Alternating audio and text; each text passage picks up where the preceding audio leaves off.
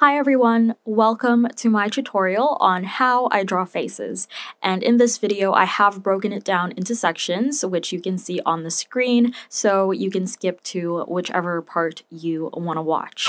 But before we get started, I do want to say that this video is sponsored by Skillshare. And I want to thank them for sponsoring another one of my videos. If you guys haven't watched the previous ones that I've done with them, they will be in the cards section. But basically, Skillshare is an online learning community for creators taught by fellow creators. And they've got a range of classes from design classes and business classes and so much more. And you can actually get unlimited access to all of these with a premium membership, which is an annual subscription and you pay less than $10 a month. Uh, what I actually love about this platform is that some of the teachers can provide a worksheet or a project or an assignment for you to do, and you can post it back on the platform and get feedback from the teacher as well as from people who are also watching the class. So I do think it's really good value for money and it's a really great resource that I highly recommend. And because this is sponsored by Skillshare, you guys can actually sign up using the link in the description box to get your two month free trial of their premium membership. I will also list down in the description box some Skillshare classes that I found helpful that you can hopefully watch along with my very own tutorial because I do recommend learning from as many resources as possible and Skillshare is definitely one of them. And once again, they are all in the description box, so please check them out. Now, moving on to the tutorial. Let's start with drawing the head and I like to use two main shapes, the first one being the circle. And the size of the circle that we're going to draw pretty much defines the size of the head. So the smaller the circle, the smaller the head. And the bigger the circle, the bigger the head. And the next shape is the inverted triangle. And the height of this triangle actually defines the shape of the jaw that we want to draw. So for example, for a pointy jaw, we'll have to draw a tall triangle. However, a square jaw um, is a short triangle. And the next thing I like to take note of is the distance between the circle and the inverted triangle because changing this distance can help us create a range of face shapes such as an oval face shape, a square face shape, and a triangle face shape. And there are actually three main combinations that I like to use, which you can see on the screen, but for the demonstration I will be using the first combination and the most common one. Now that we have the basic head shape, let's add in the guidelines for the facial proportions, which is the ratio that I like to use. So let's start by dividing the head into two vertical sections and six horizontal sections so that we end up with a total of seven horizontal lines. And I've named each line as line one, two, three, and so on so that it's easier to explain. But basically, line one is for the top of the head, Line 2 is for the hairline. Line 3 is for the eyebrows. Line 4, which is the halfway point of the head, is for the eyes. Line 5 is for the nose. Line 6 is for the mouth. And lastly, line 7 is for the chin. Now that we have the guidelines, we can start adding in the facial features, starting with the eyes. When drawing the eyes, I like to start with a basic leaf shape on line 4. And the height of this shape um, can determine how big or how small the eyes we want to draw. I also like to take note of the outer point because changing the placement of this, whether it's a little bit higher up or a little bit lower, it can give us a range of eye shapes such as an almond eye shape or a downturned eye shape. And the next shape that we draw is the circle in the middle, which is the iris. And of course, when you move this to the left or to the right, it indicates the direction of the person's gaze. And then we also have an arch above the eye to indicate the eyelid or the crease of the eye. Now the distance of this to the eye gives us a range of eye shapes once again. So for example, a monolid or deep set eyes and also changing the angle of this can give us either upturned eyes or downturned eyes.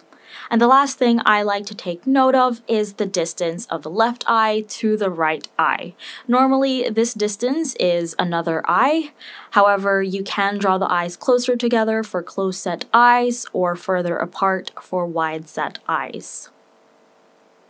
When drawing the eyebrows, I always draw it below line 3 and I start with a simple arch. Then I make one side thicker than the other. That's basically it. However, changing the height of this arch can either give us a nicely arched brow or a straight brow. When drawing the nose, I like to start with a circle just above line 5, and the size of this circle can give us a range of nose shapes. So for example, the smaller the circle, the pointier and narrow the nose usually is, whereas a bigger circle creates a wider and rounder nose. I then draw two arches for the nostrils, and the height and angle of this arch can also be changed for a bit of diversity. I also like to draw two more lines that look like the letter C to complete the nose, and the final touch are two lines for the bridge of the nose. So it connects down from the eyebrows to the circle that we drew for the nose. And you can draw this as light or as heavy as you want, depending if you want this to be way more pronounced. When drawing the mouth, I start with a basic leaf shape with a V cut out on top and a line in between. And I draw this on top of line 6 and the width of this is normally wider than the width of an eye. But changing this width basically gives you either small lips or wide lips. And then changing the height of this shape can actually also determine how large and plump you want the lips to be or how thin the lips are. And then, of course, you can alter the shape to create a more realistic look of the lips. When drawing the ears, I like to start with a line that looks like the letter C.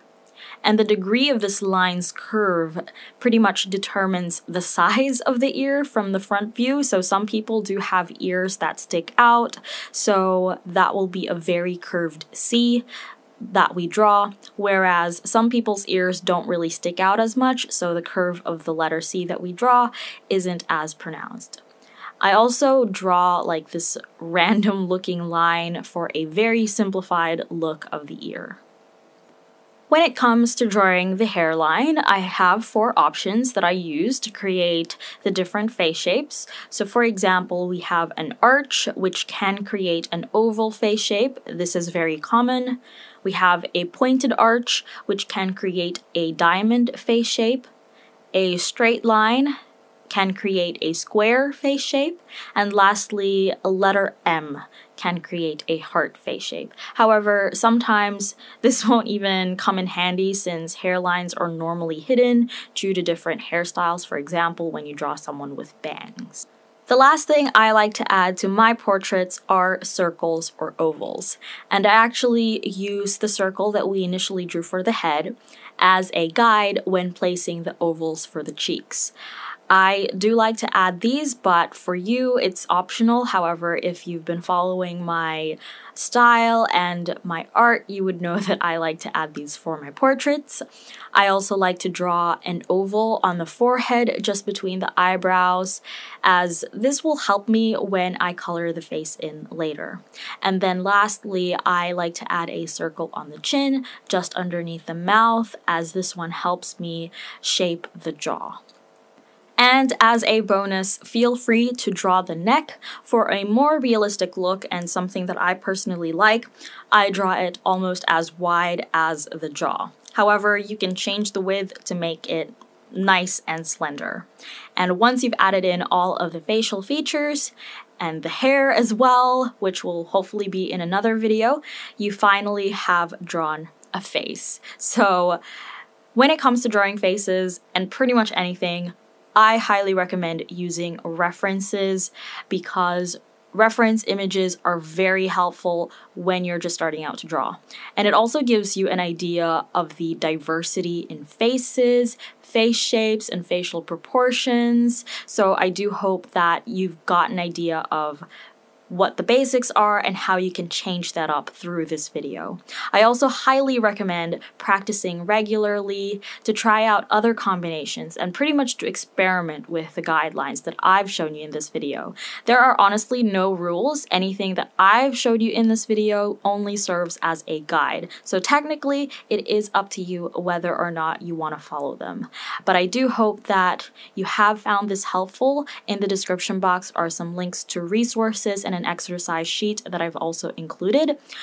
And lastly, of course, I hope that your main takeaway from this is to have fun because that's the most important part of drawing. Have fun and enjoy the process. So, if you like this video, and I hope that you did, if you found this helpful, and I also hope that you did, please give this video a thumbs up, leave a comment, in the comment section down below of anything you'd like to see from me in the future because I would like to bring this channel back to life. Um, subscribe if you haven't already for more content from me. Um, feel free to share this video as well. And thank you so much for watching, and I will see you in my next one.